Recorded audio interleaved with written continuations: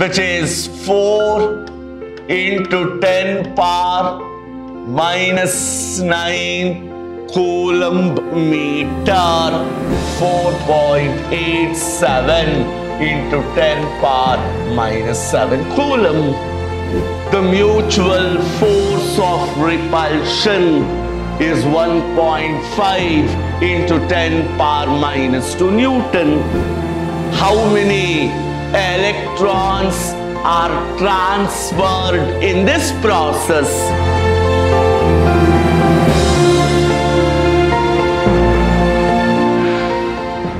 Hello students, this is SD Sir from the Temple of Excellence, Vidhyaashram Pre-University, Mysore.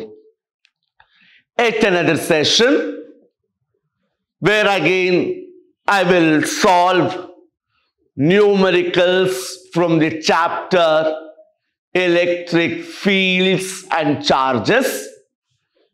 And these are a few numericals prescribed by your NCERT textbook. Hope you have gone through the previous sessions. You have come prepared for today's class. The first problem, students, the problem says an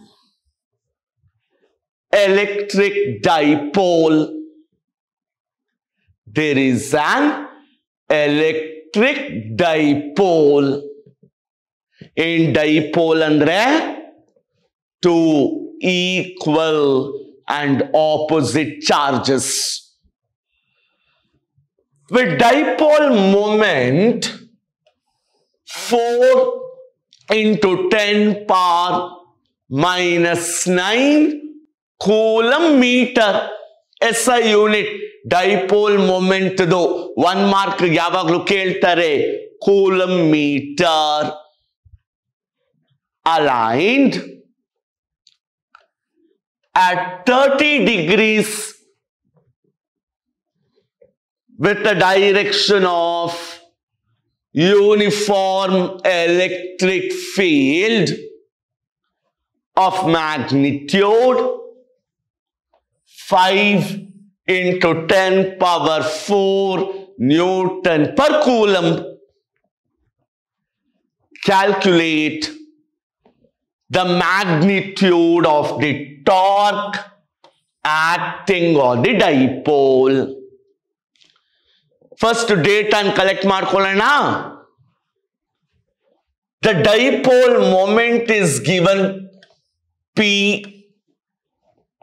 which is 4 into 10 power minus 9 coulomb meter. It is aligned at an angle of 30 degrees. Theta is 30 degrees to a uniform electric field whose strength is 5 into 10 power 4. So, electric field strength is 5 into 10 power 4 Newton per coulomb. I have to calculate the magnitude of the torque acting on the dipole. Can you recall back the expression for torque? Yes, we have clearly derived this in our concept class where torque equals P A sine theta. Now P is 4 into 10 power minus 9. 4 into 10 power minus 9. Strength of the electric field 5 into 10 power 4 into sine 30 where sine 30 is half. Or on simplification this turns out to be 10 to the power minus 4 Newton meter, the SI unit for torque. So, very simple. Just know the expression. Substitution and calculation takes no time. The next problem, students. A polythene piece rubbed with wool is found to have a negative charge of 3 into 10 power minus 7 coulomb. First, I have to estimate the number of electrons transferred in this process. How many electrons are transferred in this process? So now, a polythene piece is rubbed with wool. ಒಂದು polythene ಪೇಸ್ನ ul ಜೊತೆ rub ಮಾಡಿದ್ದಾರೆ where he says it is found to have a negative charge of 3 into 10 power minus 7 coulomb. I have to calculate the number of electrons transferred in this process. How will I find the number of electrons transferred? Quantization principle. We know Q is N into E, where N is the number of charges and E is the charge of the electron from which N equals Q divided by E. So N equals, what is the charge on the polythene? 3 into 10 power minus 7 charge of the electron into 10 power minus 19. So N is 1.875. So, so many electrons are transferred in this process. My next argument is, is there a transfer of mass here? Very much yes. Conservation of mass has to happen. So mass is transferred. How much? We know. So M equals, how many electrons are transferred? Into 10 power 12. What is the mass of each electron? 9 into 10 power minus 31. So we have 1.6 into 10 power minus 18 kgs. So, so much of mass is transferred during the process. The next one, basically based on Coulomb's law, two insulated charged copper spheres. There are two insulated charged copper spheres A and B have their centers separated by a distance of 50 centimeter. So, distance of separation is 50 centimeter, which is 0.5 meter. Find the mutual force of electrostatic repulsion.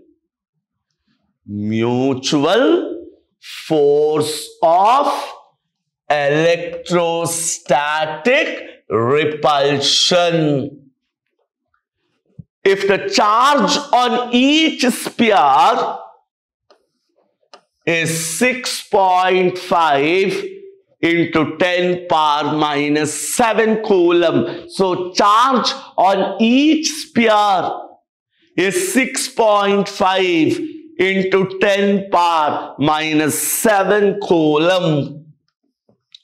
So both Q1 and Q2 is 6.5 into 10 power minus 7 coulomb. The radii of A and B are negligible when compared to the distance. So the moment I say electrostatic repulsion, Mr. Coulomb comes into picture. So we know F equals 1 by 4 pi epsilon naught q1 q2 by r square. Now substituting here again, so this is 9 into 10 power 9. So 6.5 into 10 power minus 7. 6.5 0.5 whole square. So on simplification, this is 1.5 into 10 power minus 2 Newton. So in the first case, the mutual force of repulsion is 1.5 into 10 power minus 2 Newton. Now, what is the force of repulsion if the charge on each sphere is doubled and the distance between them is halved. So charge on each sphere is doubled and the distance between them is halved. So we are doubling the charge so again, we will use the same expression. So now f is 10 power 9, 13 into minus 7 because each charge is doubled and the distance is reduced to half. And on simplification this turns out to be 0.24 Newton. So in the second case, the force is 0.24 Newton. Next one. Suppose the spheres A and B in the previous question have identical sizes. Previous problem al kottidnala. Two spheres A and B. They have the same size. A third sphere of same size but uncharged is brought in contact with the first. Now there is a third sphere which is uncharged which is brought in contact with the first. Then it is brought in contact with the second and finally removed from the both. What is the new force of repulsion? In the first case, the sphere C is brought in contact with A. The third sphere C is brought in contact with A. Now since both of them have same size, identical size, the charges get equally distributed. So Q1 is equal to 6.5 into 10 power minus 7 by 2 which is equal to 3.25 into 10 power. This is because both A and C have the same size in the second case, C is brought in contact with B.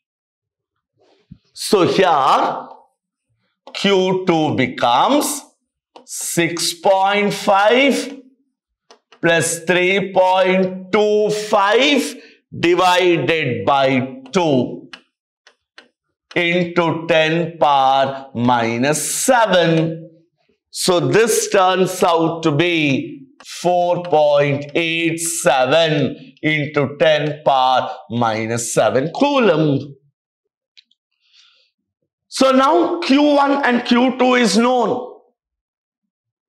I want the force of repulsion, again Coulomb's law, 9 into 10 power 9 Q1 is 3.25 minus 7, 4.87, 0.5 whole square. So on simplification, this is 5.7 into 10 power minus 3 Newton. So again, students, we have worked out problems which are basic application of Coulomb's law. The next session, we will continue with few more problems. Until then, have a nice time. Thank you.